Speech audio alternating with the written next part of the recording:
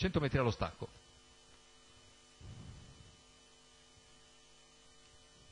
velocissimo dall'esterno, Mozart bypass, si avvantaggia in poche battute, scende in corda in eh, poco meno di 50 metri e guida su Pompeo Serial.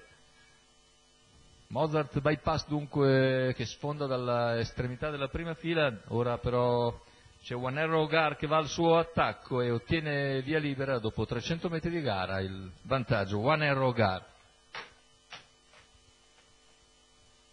Completamento dei 400 in 29-6, eh, One Arrow Gar in vantaggio, Mozart Bypass in seconda posizione, poi Pompeo Serial.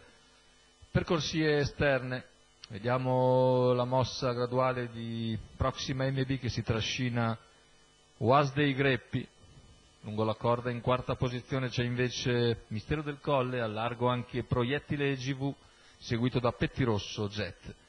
45 i primi 600, si affronta la penultima curva, situazione tattica invariata con One Arrow Gar che guida, completa in 1-1 eh, e 2 i primi 800 metri di gara, si avvicina comunque all'esterno prossima MB seguita nell'azione da Was dei Greppi, siamo ormai all'altezza del chilometro, la coppia di testa lo percorre nell'ordine del 1-15 e 9.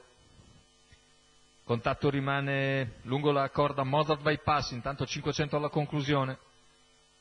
Seconda pariglia esterna per Wesley Greppi seguito da proiettili GV, poi Pettirosso Jet più indietro, 400 al palo, il parziale in 14-4 ora per One Arrow Gar che ha sempre la presenza esterna di Proxima MB.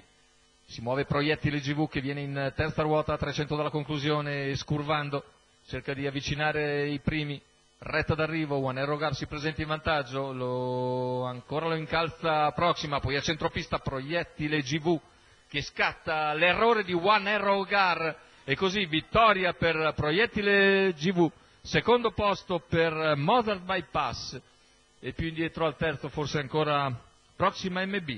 Il successo per il favorito Proiettile GV, Roberto Vecchioni in sediolo al eh, triplo in giornata, training eh, di Walter Castellani, quota di 1,80 al totalizzatore, sbaglia invece One Arrow Gar a secondo posto pressoché acquisito, e anzi era in lotta naturalmente per la vittoria, ma secondo posto così per il numero 7 Mother Bypass, al terzo finisce Proxima MB.